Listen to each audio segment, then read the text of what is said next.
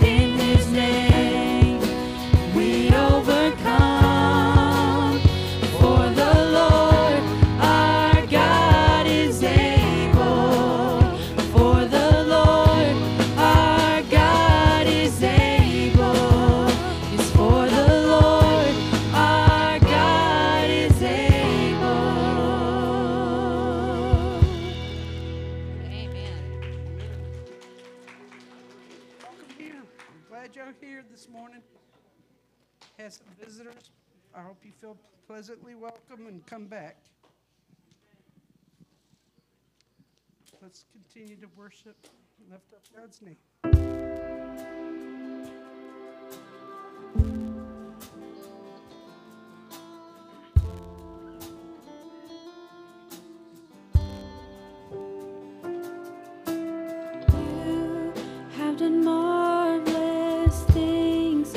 the whole world sin. Let your people.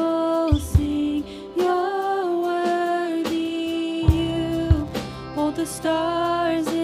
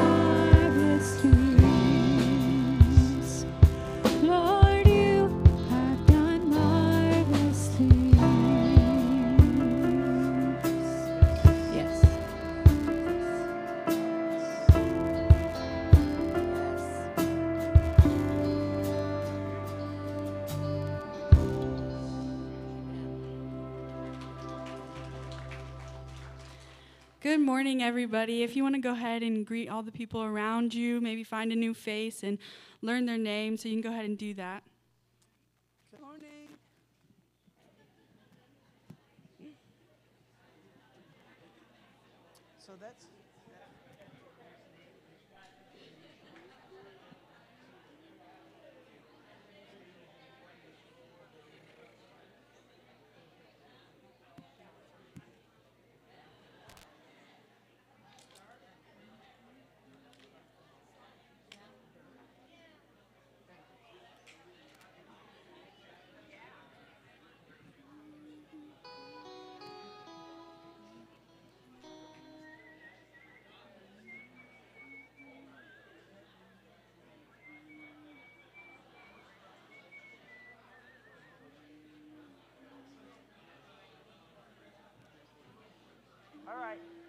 Get 15 minutes.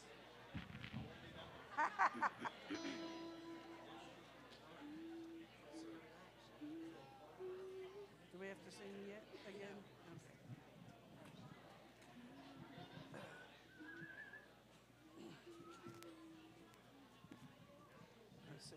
Uh, we don't sing before the offering?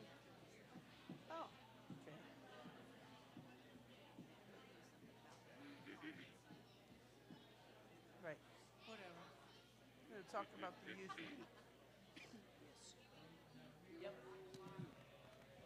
Yes, just speak out. Yeah, You hear me?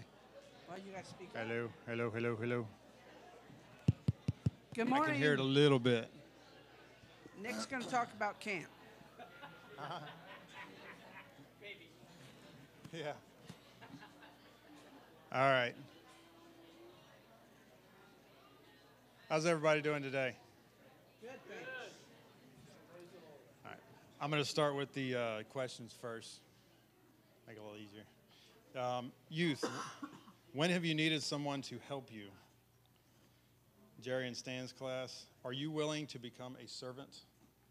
And then Keith, have you ever gone out of your way to get out of work? Probably. And I've got a verse, Ephesians 5 29. Let no corrupt word proceed out of your mouth, but what is good or necessary edification, that it may impart grace to the hearers.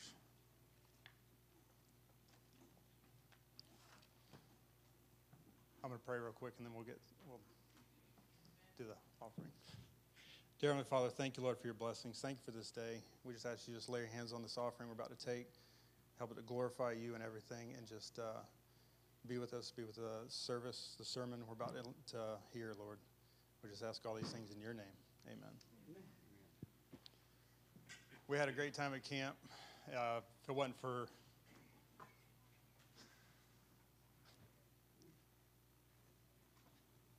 You got it.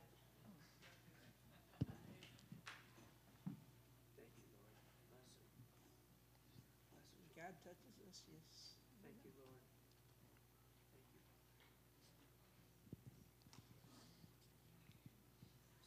Sorry, it's hard for me to stop. Amen. We love your heart. Amen. Thank you, Jesus. Bless the Lord.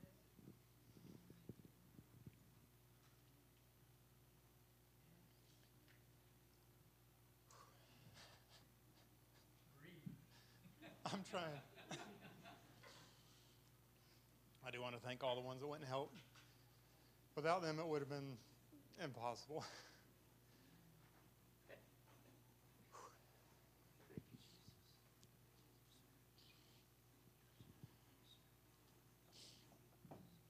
Kids had a great time.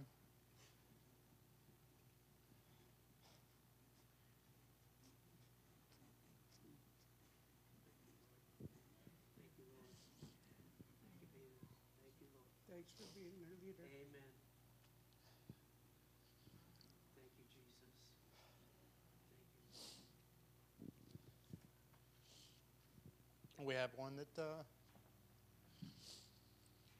is interested in baptism. Amen. That's what it's all about. Wes, I think I got you here. But it was an awesome time to see all these kids worshiping God.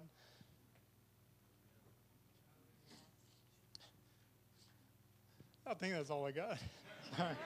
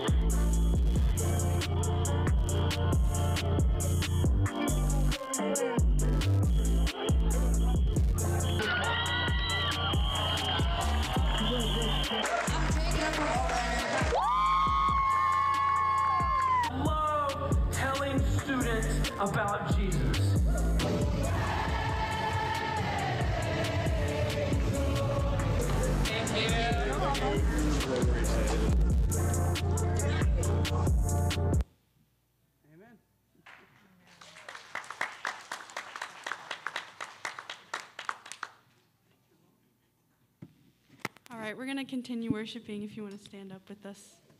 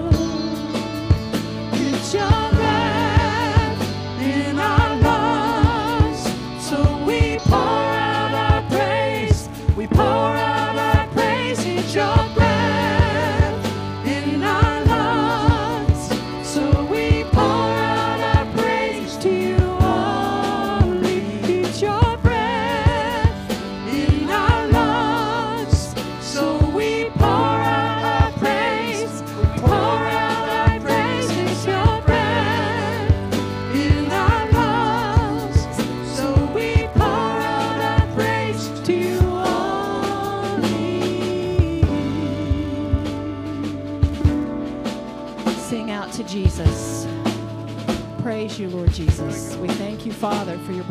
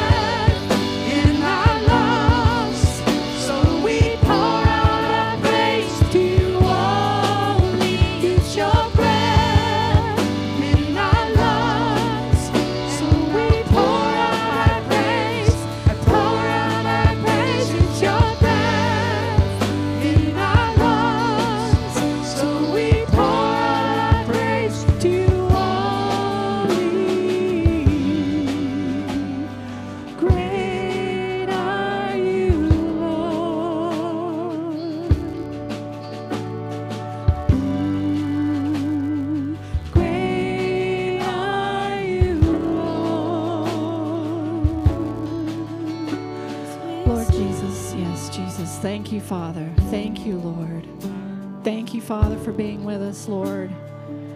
Father, we are living in very tumultuous times, Lord, but we know that you will never leave us or forsake us no matter what happens, no matter what we face, Lord Jesus. I pray for our nation right now, Father.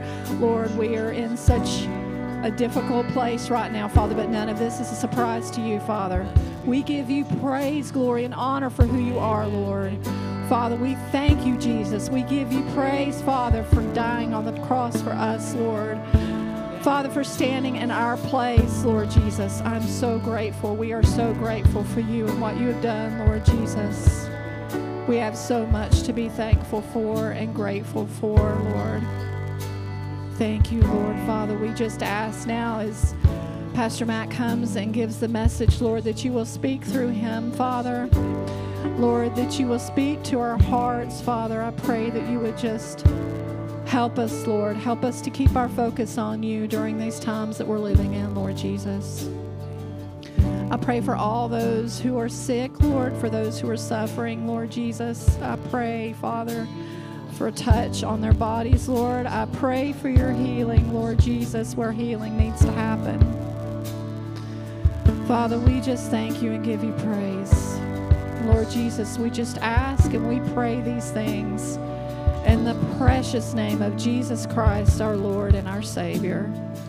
Amen. Amen.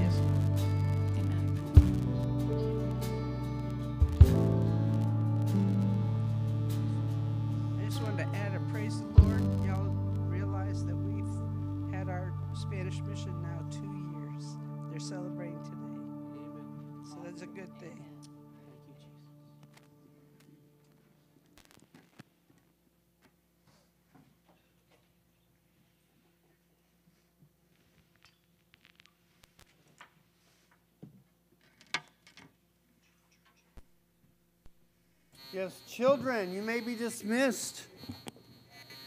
And before I get start yapping, um, that's what Jim told me to say. So when I get done yapping, uh, before I do, Miss Lorena has would like to speak for our um, Operation Christmas Child.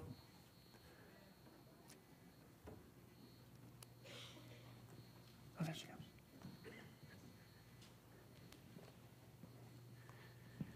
Thank you. Yes, ma'am. This is my favorite time of year. It's shoebox time. I might be passing out, or maybe a child might be passing out to ask for extra change or help. I'm hoping to get another 300 boxes. That's $10 a box. It equals out to $3,000. And a friend of mine gave me $100, and I only spent 20 so far, but I'm going to, only spent 80 because the school box things are on sale. so you can get a really lot of things for just five or two dollars. If you'd like to pack a box, I believe I have some boxes back there, and you're more than welcome to pack your own. And in August, the third week, week uh, on a Wednesday night, we're going to have a packing party in the library for the adults that want to pack boxes. And then we will start, uh, then after that, we will start with the kids at Children's Church so they will know about giving. And, and the smiles that we see on videos when you go to the meetings are just excellent that the kids give and that they receive this gift. I try to tell the children these children can't go to Walmart's or anywhere to buy a toy. Mm. So this is also telling them that Jesus loves them because they also get like a six week course in their language also in the shoebox ministry. And anytime I can grab stuff up, I've been wrapping. I have been wrapping soap with wash rags and Ziploc bags and putting the crayons and the erasers and and putting bigger erasers and pencil sharpers and everything in Ziploc bags and small toys and making beaded necklaces so the children can just pick up the different bags and put them in the box and that way they don't have to pick up all the little things at one time. But it's a joy for me. This shoebox ministry gives me so much joy. So anyway, God bless and have a great day. Man, thank you. Thank you. It was during VBS that I heard a testimony from a child. Uh, I can't remember what country was in, but she talked about how at school she was reading her book that came with her box. And the teacher says, Let me see that book. He begins to read the book and begins to read that book in class. It's all about Jesus. And on top of that, he says, I want you to start bringing this every day for the rest of the year because we're going to keep reading about Jesus. That little girl also was able to go home with this book and lead her family to Christ. She came to Christ, her family came to Christ from one book, from one box. You never know what God has in mind for those boxes. And by the way, I have another opportunity here. Oat grinder, ladies who like to cook, ladies who don't like to cook, men who like to cook. Uh, we have such an opportunity. Just to let you know, in the last several months, I've been able to get access to where we can provide food and devotion and prayer for two different secular high school football teams. Uh, we are able to, we're going to get all the details worked out, but for Vanguard and North Marion, we're going to be able to, before they ho- have games, for they can come here, we can feed them, I can give them God's word, and then pray over them, and then they're going to go beat the other team. Unless Vanguard and North Marion are playing each other, I haven't worked out that yet. I haven't worked that out yet. But this is an opportunity to reach our community. Uh, the fact that we can get into two high schools, Nick, I bet you're pretty excited about that. Uh, that's, that's a huge deal. That's a huge deal. Um, so just be in prayer. We're going to get that list going of who would like to prepare and for how often. I don't know how often it's going to be. It's not going to be every game. We'll be hot dogs a lot. So, but I don't know what that's going to look like. But when I get all the details, I will let you know. But if you have your Bibles, turn to First uh, Samuel, First Samuel chapter 25. 1 Samuel 25, we're continuing with growing through conflict. Have we been growing any? Have we been going through conflict? okay. Well, I've I know I've really enjoyed uh, this studying this because again I go through a lot of conflict, and I also uh, just recently was con- had conflict with a fool. That's what we're looking at today. How many of you ever had conflict with a fool? Okay, how many of you uh, had conflict and you were that fool?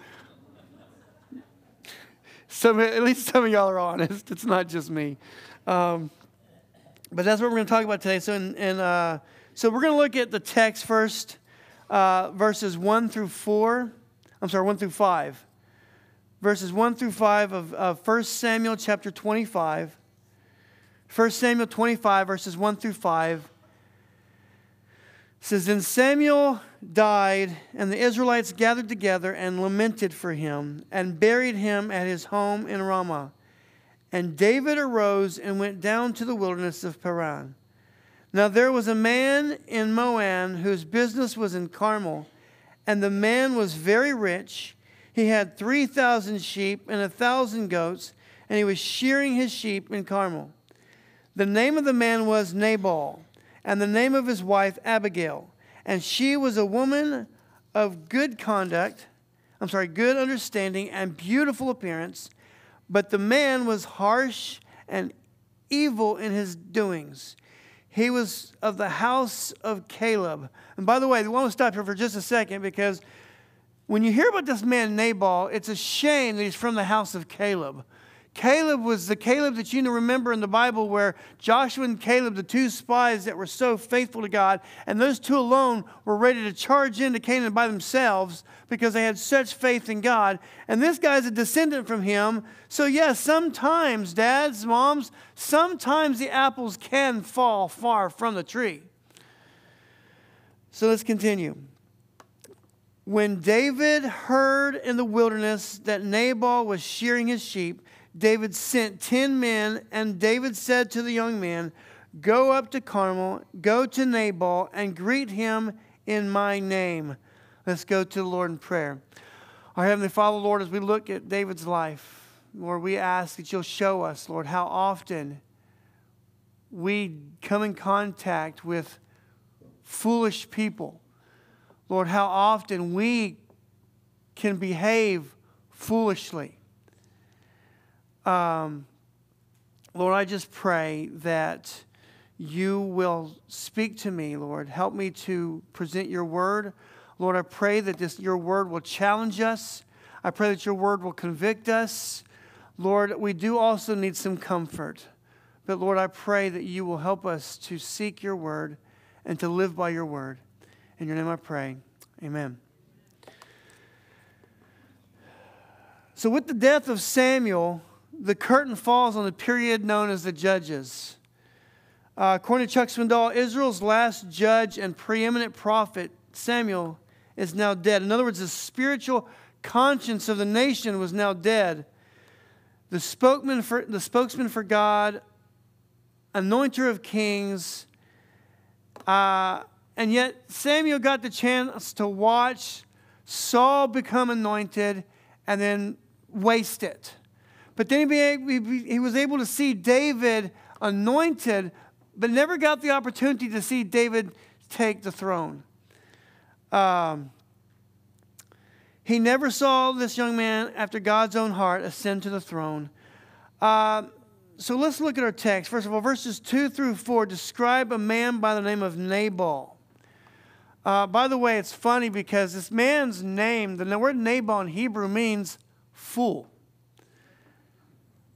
Did his mom not love him? I got an idea. Let's call him Fool. See, my wife and I had a deal. When we had our children, we, we had a deal. She would come up with a lot of really good names, and there were some names not so much. So the deal we had was if I can't make fun of it in five seconds, then we can name them that.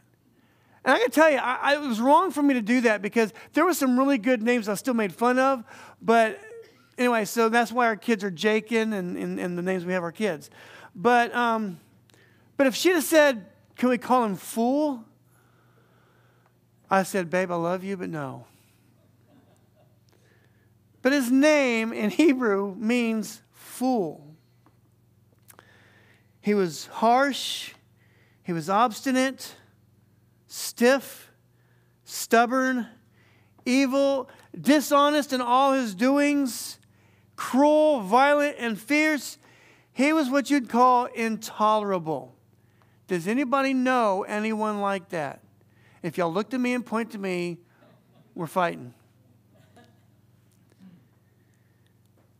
Nabal could very well have been in the mind of Jesus when he told the parable of the rich man who was filled with greed and kept building bigger barns to store up his worldly goods. It was then that God said to him, You fool, tonight thy life is required of you. So you have this Nabal who means fool, who, and by the way, what we're going to see is his name means fool. And by the way, it's not just his name, it's in the way he responds or the way he reacts. When we become a fool, it's because of the way in which we respond or we react. Abigail, on the other hand, his wife, her name means my father is joy. Actually, in the Septuagint, it means good with what is profitable and benefiting to others. And this is a trait that we will see in our, in our text today. What is a striking, complete contrast that you've got a full and a level headed woman together. Now, I everybody's thinking, well, that's every family, isn't it? Not every family. um, so, what is the difference between responding and reacting? And by the way, it's not only good enough to know what the difference is, it's when to do which. Hey, there are times where you need to react. Let me tell you something. What happened you last night, yesterday, did not require responses, they required reactions. And you saw that those faithful men and women that just kind of jumped, pounced on him to protect him, that was not a response. you don't have time to, let's think about this. Hmm, let's see. He is, he is kind of getting up in age. So, should we knock him to the ground? I mean, do we really want to cause a scene here? Do we want to keep this under control? No. That was a time to respond, mean, to, res- to react. Responding is thoughtful, deliberate, and considers context and consequences. Now, how often, if we get in, arg- we get in arguments, if we were to stop and think about what's being said, if we were to stop and think about the idea that there's going to be consequences if we're not careful with what we say. To react is the exact opposite. It means impulsive, usually because of emotional and often immediate reactions. And, and let's be honest, the number one reason we, re- we react the way we do is out of pride because we have been offended. So I want to let us look now at our text because we have, first of all, we have David's request. Look at verse 5 of our text. Verse 5 says, David sent 10 young men, and David said to the young men, Go to Carmel, go to Nabal, and greet him in my name. It's interesting that David knows this guy's name. It's kind of hard to forget that name. And this, thus, you shall say to him who's, who lives in prosperity, Peace be to you, peace to your house, and peace to all that you have. By the way, there's no conflict here. David sends his men in perfect peace. Nabal, we want you to know that David, who the next guy who's going to be king, wants you to know He wants peace upon you, upon your family, and upon all that you have. And He's thankful to God because you're successful and you're prosperous. He's not bitter, He's not jealous, He's thankful that you prosper. You think, well, this sounds good. He's got to have a good response to this. Nabal had one goal in life, and that was to store up treasures on this earth eat, drink, and be merry. But you know what? Just like that other story about the thou fool, this night will be required. he forgot about the consequences, or maybe he wasn't thinking about the consequences. Death can't come to me. I'm too rich, I'm too powerful, I'm too foolish. Nabal had not anticipated the prospect of death. David had done for him so much. Now, what you have is you have this time where um, David and his men would be out along the countryside protecting Nabal and his shepherds and his their sheep. And at there is, is any time that you know bad guys could come, wolves could come. David and his men were out there just because of kindness, protecting the shepherds, protecting the flocks, and not one time does David, David or his men ask for a need. Some food, some water, a little bit, you know, nothing. Absolutely nothing. And now time comes, it talks about the shearing time in Carmel. The shearing time was a time of, of pretty much to take their goods in and sell them. They would shear their wool, sell the sheep, sell the wool, whatever they got to get paid. So now's the best time. David knew that Nabal is about to get paid. Okay? We just saw how much sheep and oxen he had. He has plenty to offer one to David and his men for their kindness, for their greatness, for their hospitality. You would think. But remember his name again. Do not forget his name. By the way, don't go around calling people Nabal either. Oh, thank you. What does that mean? They, they're not going to like that. This is just plain stupid. Nabal earns his name with these comments. Here's a basic principle to remember you don't mess around with the man who's going to be the next king. You got to think, David, this could be David's uh, campaigning. How'd this work out for you? A king's wrath is like the roar of a lion. He who angers him forfeits his life. Proverbs 20, verse 2. Nabal is about to learn the truth of those words. Nabal makes two mistakes. First of all, he refused to show kindness to David and his men, and then he insulted David and his father Jesse. When you said the words like, David, who's that? And who's Jesse? Knowing full good and well he knew who they were. But when you pretended like you didn't know the name, that was one of the most offensive things you could say. It's kind of like saying the your mama joke. It's kind of like telling someone your mom. And remember, guys, how many of y'all wanted to step up and fight me right when I said that? And it didn't matter if they knew your mom or not. But we have this man who is greedy, evil, violent.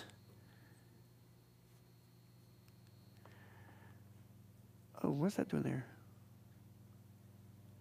Oh, there we go. Sorry. So David's request was to, to bless Nabal's house. Ask for basic needs. Can we have food? Can we have uh, what we need to, to survive on? We've needed it. We've worked hard for you and your farm. We've worked hard for you and your people. And how about just a little bit of gratitude? Just a hey, uh, guys, thank you so much for ensuring that my sheep are safe and not stolen.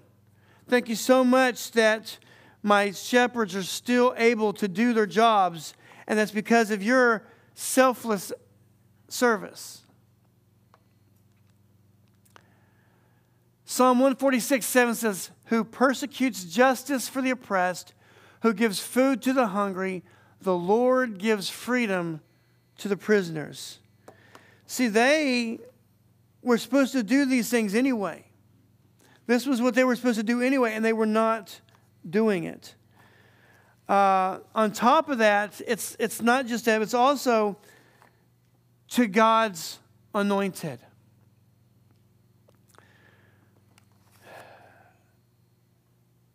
David's men are humble, peaceful, loyal, kind, and considerate. Now, I know this is the paint that we want to paint ourselves when we come to a conflict that we're patient, that we're kind, and that we're peaceful and loving when we start the conversation? Because David did. The Bible is clear. David came, his men came in the right spirit, the right attitude. It was not to cause conflict, it was to take care of his men.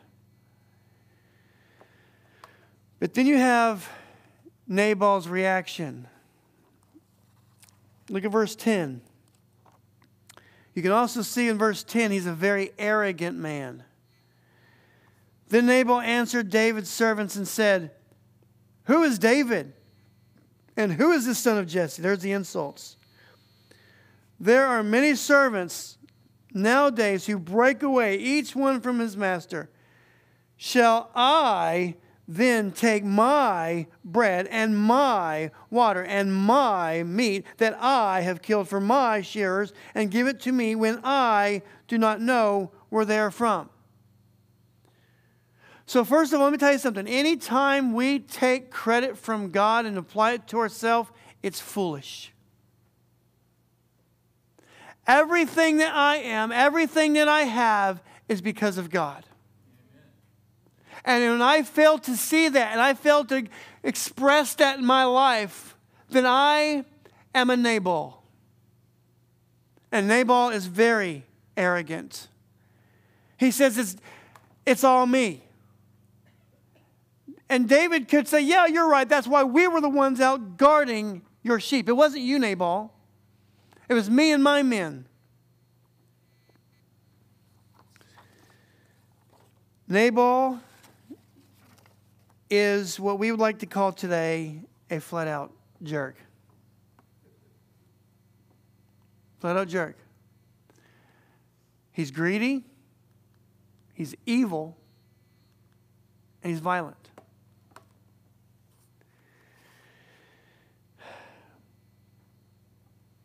So, guess what? So, Nabal, no polite pass. He refuses and hardly refuses and wickedly refuses and evilly just tells him, pretty much tells him to kiss off. And of course, this makes it way back to David. You think, how would David respond? So look at verse 12. So David's young men turned on their heels and went back, and they came and told him all these words. Then David said to his men, Every man gird, I'm sorry, gird on his sword. So every man girded on his sword, and David also girded on his sword. And, and about 400 men went with David, and 200 stayed with supplies. I'm going to stop there for a second. One man is a jerk. So you're going to take 400 soldiers after him? Do you think he overreacted a bit? So now what we see is now we begin to see David. He might not be a fool, but now he's acting like a fool. Because, like anyone else, David got his feelings hurt. David's offended now, and so David's going to go kill. By the way, it's not just Nabal. Look at verse 21. Look at this complex he begins to have now. Now, David said, Surely in vain I have protected all this fellow. Now, wait, first of all, it wasn't even David, it was his men. But David probably helped. I have protected all this fellow in the wilderness so that nothing was missed of all that belongs to him. May God do so and more also to the enemies of David if I leave one male of all who belong to him by morning light. In other words, I'm going to wipe out everyone because of one man's foolishness. How often, because of one man says something, we can't stand the whole family now? Someone said something mean to us, so I can't stand the whole family now.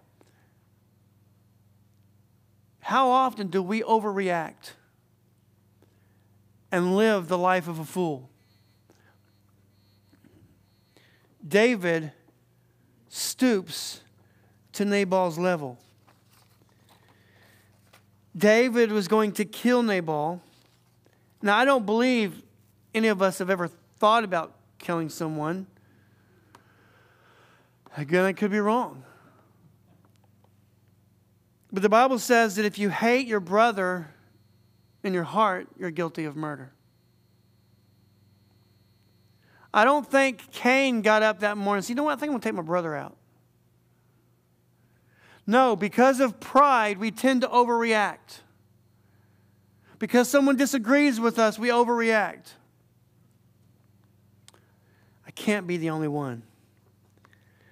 Think about the context. David had just spared the very person who was seeking to kill him in chapter 24. Remember King Saul? There are two times where God hands Saul over to David on a plate, on a silver platter, saying, Take me. Two times. And David does not. The man who's been trying to chase him for 10 years, and David is merciful, David is gracious. Yet the one guy who upsets him one time, he's ready to kill him. You know, there are certain people, you ever notice how we are? There's some things that certain people can say about us and joke about us, and we're joking, we're laughing, but if someone else says it, it's over. I said the same thing. He said, Yeah, but I don't know you. We don't, we're not that we're not that close. really? So often we overreact. David just spared the life of King Saul twice. But now he blows a fuse when he's dissed by a fool. You cannot soar with eagles as long as you hang out with turkeys.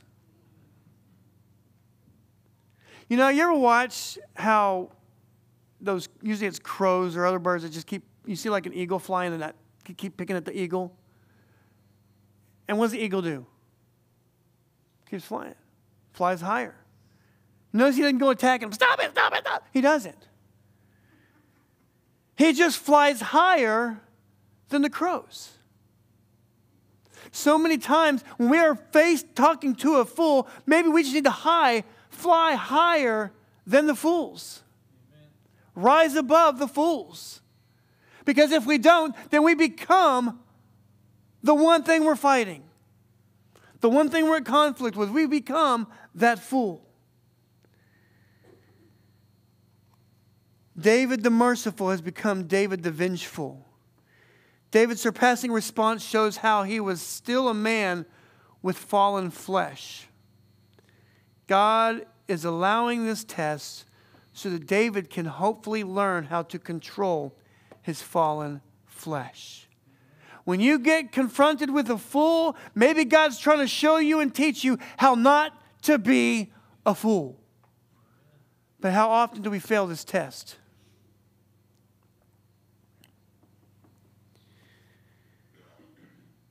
David's vengeful attitude toward Nabal displays his natural tendency and highlights his restraint towards King Saul. So let's be honest. Is he really mad at Nabal? Yes, to a point, but what's really fueling it? Do you think that there's some stress from running from King Saul? Probably a tad. How often do the people that we're foolish to are collateral damage? Sometimes it's our wives, men. Women, sometimes it's your husbands. Sometimes it's our children. We get mad at our spouse or we get mad at somebody at work and we carry it, but we take it home and we dump it on our families. This is foolish. Versus just trusting God. Deuteronomy 32 35 says, Vengeance is mine and recompense. In other words, recompense is all that's owed because of that damage. By the way, that's not me talking. I always used to joke with kids. And I say, you know what? Vengeance is mine. The Bible says so. That's God. Their foot shall slip in due time, for the day of their calamity is at hand, and the things come hasten I'm sorry, yeah, upon them. In other words, God said they will get theirs. I'm personally, God's personally going to deal with them. And David gets to witness this because you're going to see it in this story. What happens? You're going to see this right here come to fruition. Right there. You mean God tells the truth all the time? God's faithful all the time. Romans 12 19, beloved, do not avenge yourselves, but rather give place to wrath. For it is written, Vengeance is mine, I will repay, says the Lord.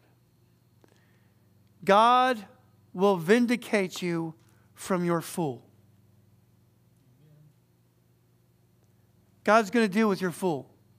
But God's also going to deal with us when we're the fool. When the way we respond or we react, depending on how we do it, shows whether or not we are a fool or not.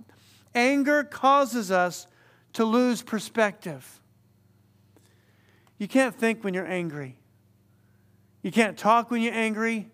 You're definitely not going to say Jesus loves you when you're angry. Uncontrolled anger is always irrational, and though and through it seeks ju- and though it seeks justice, it becomes miscarriage of justice. By the way, don't fool yourself into thinking when you respond in rage that it's justice.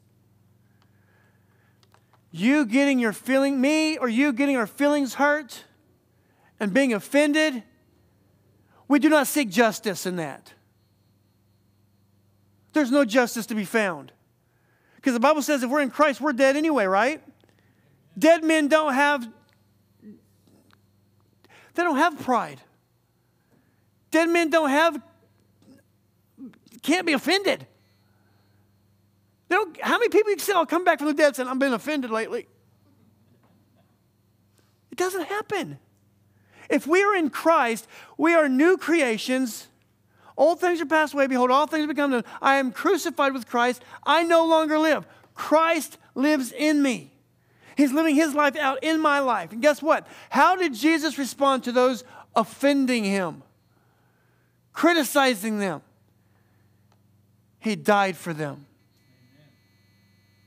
He died for them. That's how he handled his fools. He died for them. But let's look at Abigail's response. We see Nabal, who is a fool, David's acting like a fool. What about Abigail? Look at verse 14. Now, one of the young men told Abigail, Nabal's wife, saying, Look, David sent messengers from the wilderness to, to greet our master, and he reviled them. For he is such a scoundrel that one cannot even speak to him. You know, people that you can't talk to, they're so stubborn, they're so stuck on themselves, they're so, I'm not going to learn. They're so arrogant and full and bullheaded.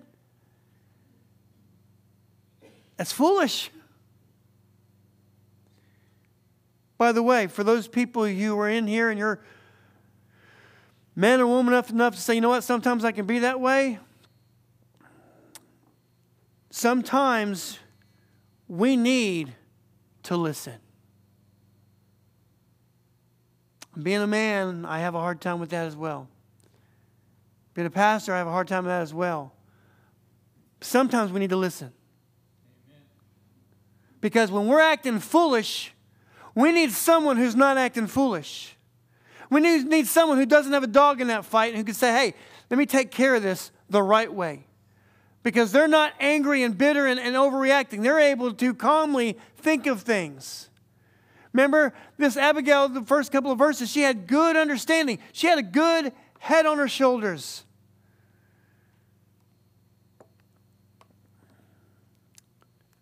She begins, she's grateful. Verse 15 and 16, she's grateful for the protection that David and his men have given.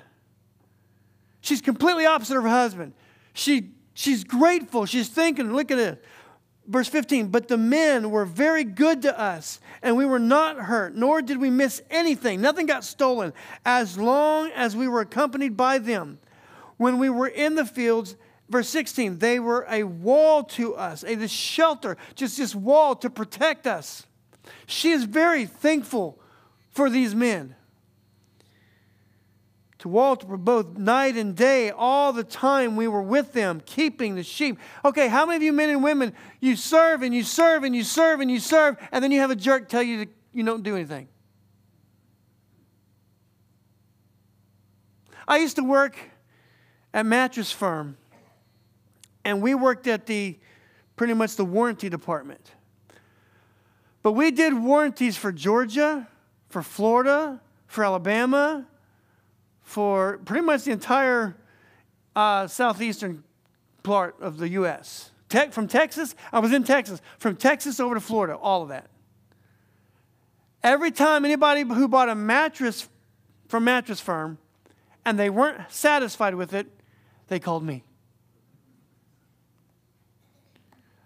How many of y'all thinking, I bet you got a lot of compliments?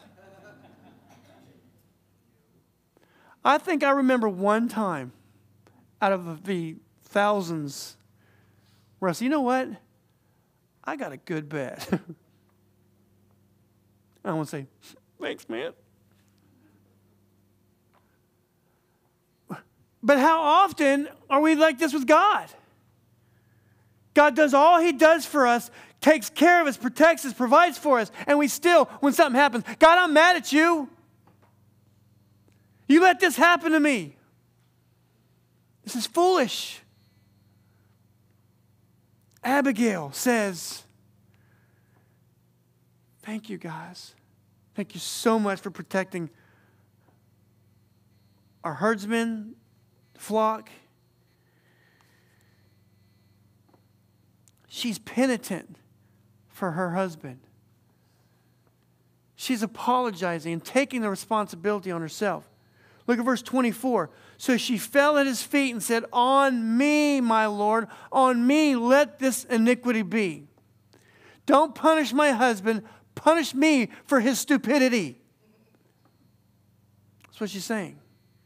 Please, verse 28, please forgive the trespasses of your maidservant. Why is she asking forgiveness? She didn't say it, she didn't do it. This humble spirit, this humble heart. Do you know how many times I've had to say to just to, to make the conversation, to make the argument stop? Just to say, I don't know what I've done to cause this, but I want to fix it. Whatever I've done to cause it, I want to fix it. Why? Because being right is for fools. Doing what's right is for the wise. Sometimes we have to do what's right.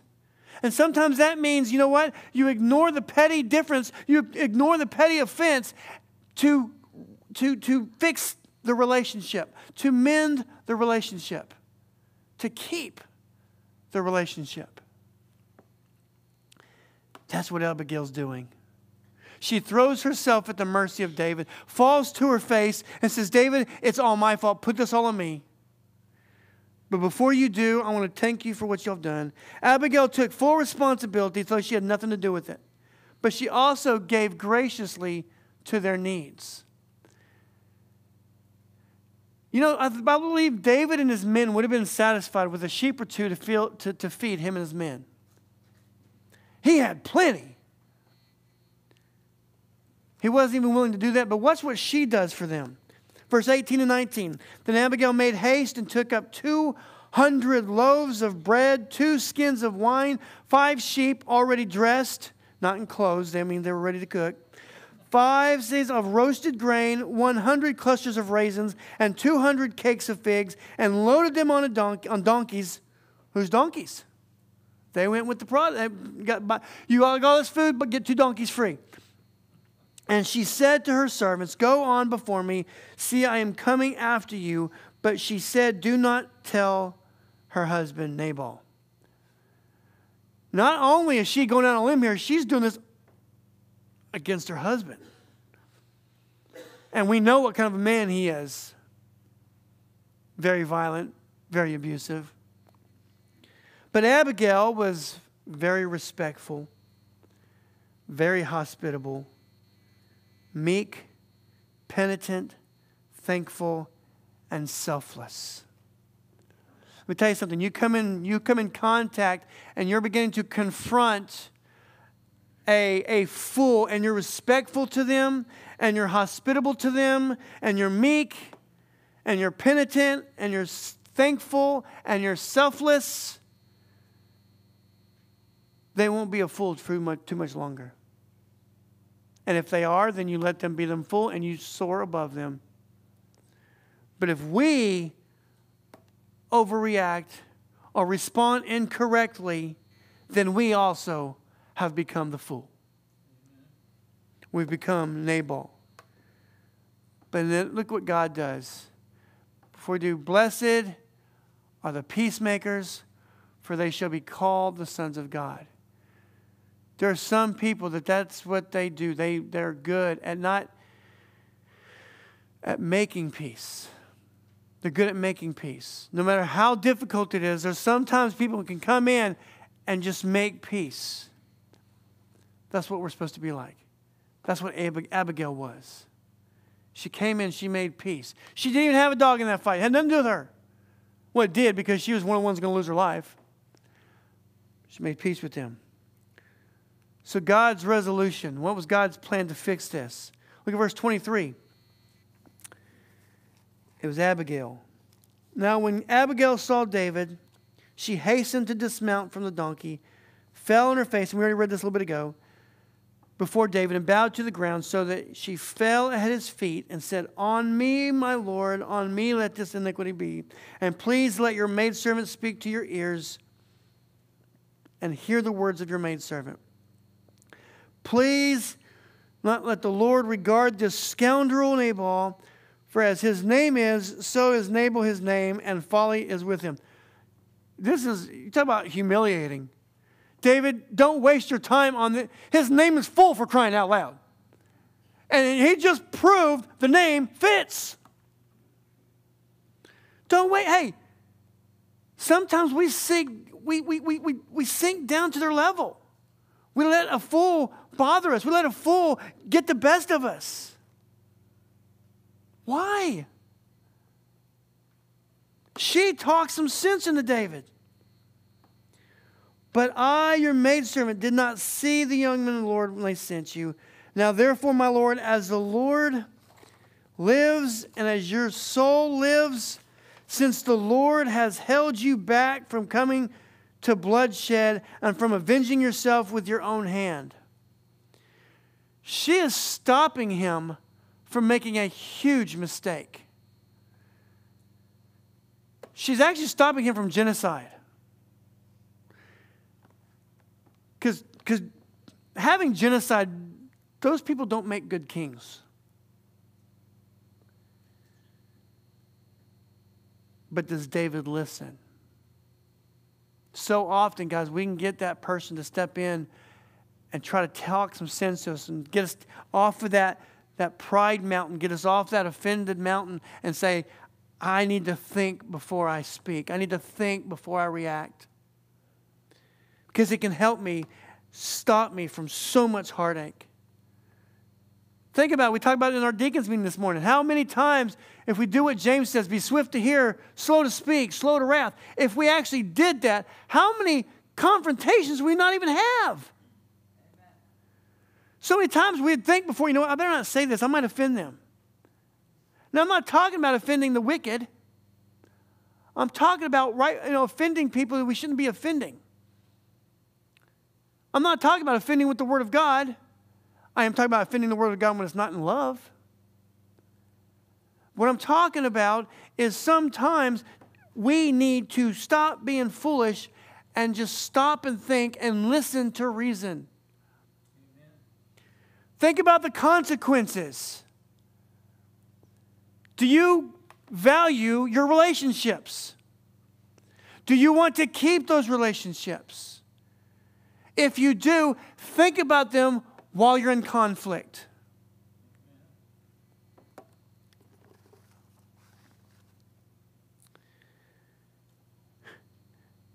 Verses 29 through 31 David, you do not want to do this. You do not want to shed blood. It is not you. David, this isn't you, and this isn't David. I mean, David did some killing. By the way, David killed a bear. David killed a lion. David killed Goliath. David killed 200 Philistines for their foreskins. We looked at that. But guess what? David was doing what he was told to do. David was not just evil murderer, but he was about to become one. By the way, it doesn't take three seconds to completely mess your world up forever. One decision sometimes can mess our world up forever. Abigail was a wise woman. God knew this, God gave it to her. Guys, some of you, God gave you an Abigail. God gave me an Abigail. Ladies, at times, God gave you an Abigail. It's both sides. It's both sides. And we have a choice to listen or just remain a Nabal.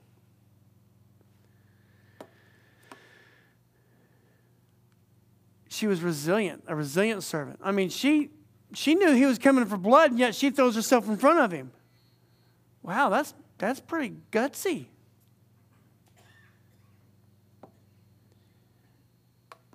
David, Abigail was a faithful help. Remember we were talking about earlier about what her name was in the Septuagint, that aid, that helpful aid? And here we are, just as Nabal's being true to his name, Abigail's being true to her name. She's a help. By the way, to be a help in the life of King David, God's first truly anointed king, is pretty awesome. David listened to reason. David responded with grace. And David at one time was playing a fool, now has come back to reality. And he responds with grace.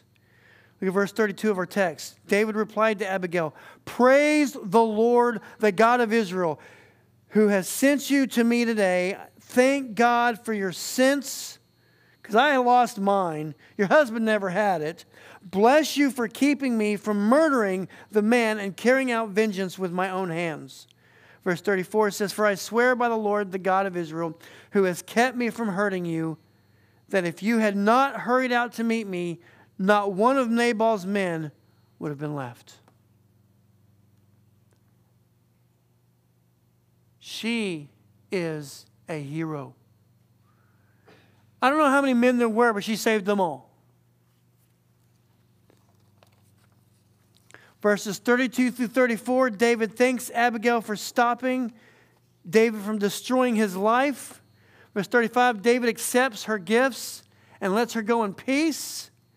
Verse 36 through 38, Abigail goes and tells her husband, but the problem is when he gets there, he's in a drunken party, so he, she just lets him sleep it off because guess what? You know something else is foolish? Taking your, drowning your sorrows in substances whether it's drugs, alcohol, wasting that, but then so often those things add to anger. I knew my uncle. My uncle was very abusive. And you know what? There were so many times where alcohol was the main reason why. But she waits until he sleeps it off. Then he gets up the next morning if you've ever been there, hangover happens. And she goes, Guess what, honey? I gave David all her stuff, a lot of stuff. And I said, Thank you so much.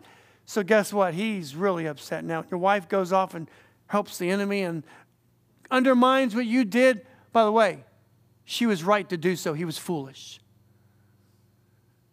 But he has a heart attack. Right there. His heart stopped. He died.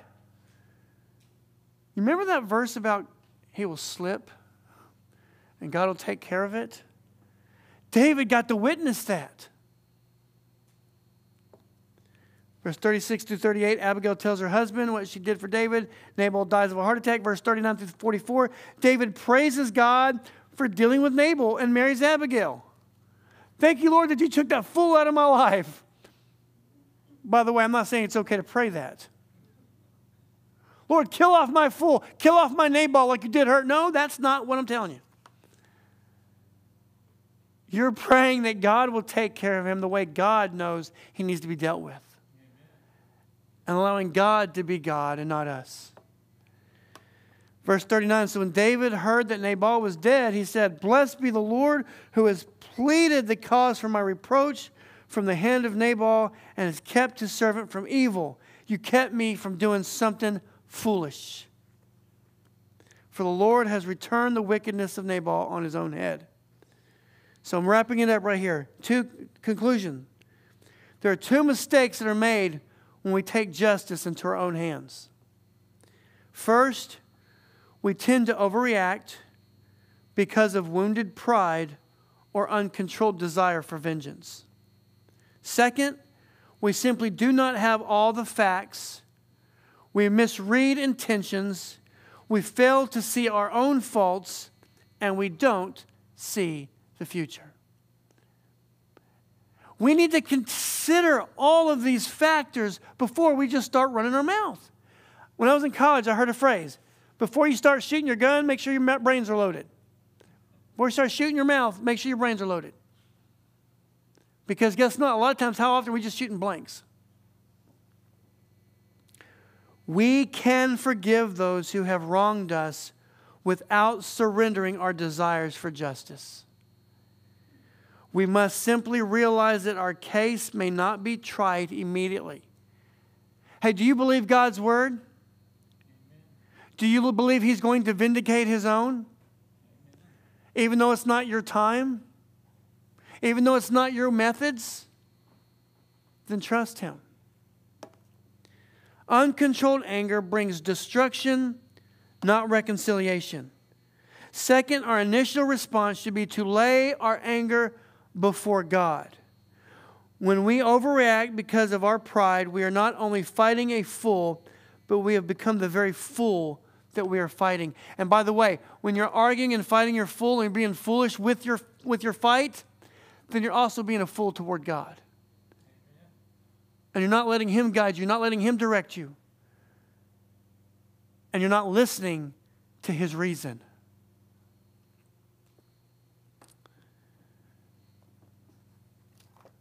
Conflict with a fool. How are we doing? Are we overreacting? You might be in a conflict with a fool right now. What, what's more valuable, your pride or the relationship? You say, well, it's obviously it's the relationship. Well, if that's the case, if it's truly the relationship, then you need to go to that fool, stop being, stop playing the fool, go to that fool and make it right because you cannot be right with God and wrong with a brother. You can't. You cannot be right with God and be wrong with a sister or a brother. You cannot. So, how do you fight a fool? With the grace of God. By the way, I've added one more. So, I tell you, so, so some of y'all know I have rules. I'm making a list of rules I try to live by. One, always preach the word. No matter if you make everybody mad, they hate you, they don't want you here, they, they just, you're going to upset them, you're going to offend them. Preach the word. Second of all, grace wins every time. Third, love your Judas. And I've added another one. Let's talk about dealing with a fool. You ready for it? Remember, I've been there too. No matter how foolish someone comes to you, acting, behaving, you've done it too. How do you want people to respond to you? That humility that we should have to say, I've been there too, gives me grace to forgive. Because the only one that doesn't forgive is one who doesn't think they've done wrong. And I'm not wrong in this. I'm... David was wrong in this. David was wrong because he freaked out and sent 400 men after a bunch of shepherds. David was going to kill him because he said, Who's David? Heavenly Father, Lord, I'm so thankful that your word shows us how we can deal with fools. Lord, we're always going to face them, they're always going to be in life. And Lord, so many times you put them in our lives to train us to stay away from being fools. Lord, help us to respond to fools the way you responded to your fools with love, with compassion, with serving them and loving them. Lord, help us to grow in our conflict with our fools. Lord, keep us from being foolish. Help us to be swift to hear, slow to speak, slow to wrath. Help us to think about the consequences. Help us to think about what we prefer, the relationship or being right. Help us to truly think about these things before we react. Help us to respond in love and much thought and consideration. In your name I pray. Amen.